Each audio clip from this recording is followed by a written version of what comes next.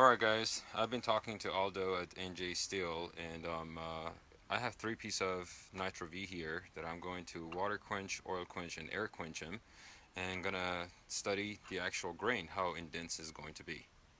And as far as 1095 and W2, I'm going to experiment these with my forge and how am I to get the hamon out of this thing. Uh, I have a project coming up so I have to study this one as well so we'll see how is that to go. Thanks for watching while the forge is getting heat up. So here's my oil, fast quenching oil from K&G, water, and two block of aluminum. We'll see how is that gonna work out. I'm gonna put the temperature of water a little bit higher, and same as the oil, we'll see how is that gonna go. One last thing, I got a huge uh, speaker magnet here, so I'm gonna test it uh, for the non-magnetic point before I quench it there, so it's gonna be a good experiment. We'll see. Okay, in the process of putting my water temperature high. So let's see what's the temperature. Alright, we're checking the temperature.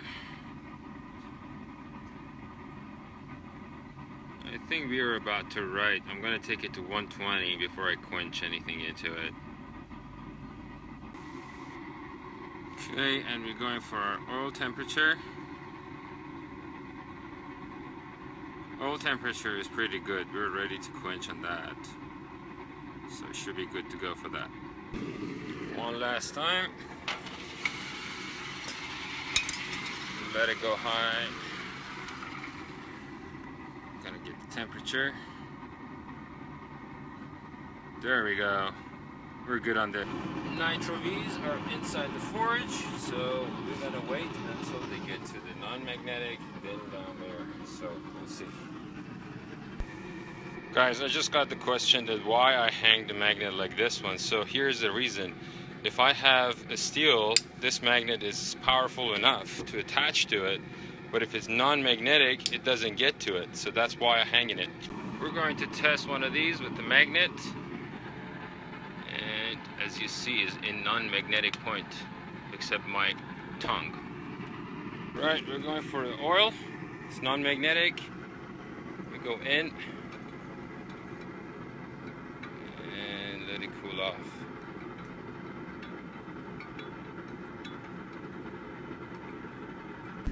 Here's the water. Non-magnetic. Go in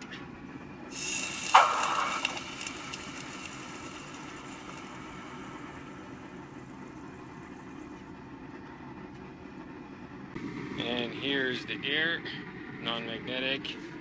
Putting it down there and put my blocks on it. And I'm gonna cool it off with the air compressor a little bit. Well, here's the result. This is oil quench, turned black, water kind of rusty, and air much more clean. I'm gonna go ahead and clean up one side of this one and uh, test it with the file and then break it. Alright, brushed off all the scales from him and um, now it's ready for the file so we'll see how is it going to result on this one.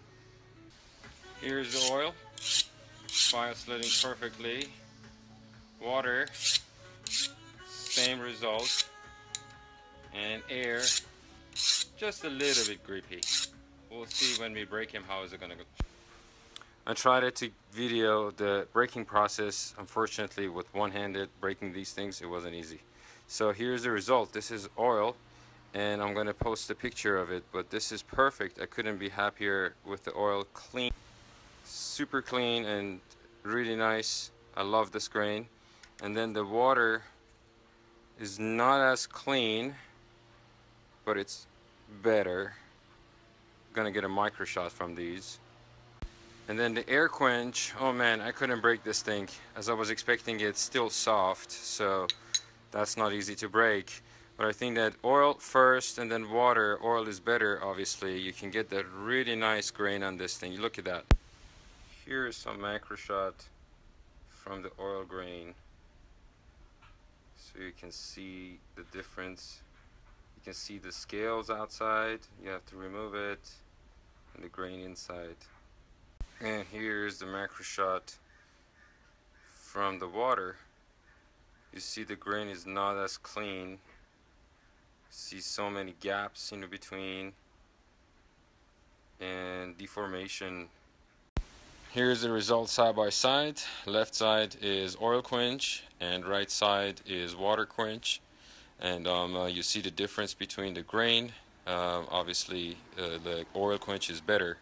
I'm glad I did this study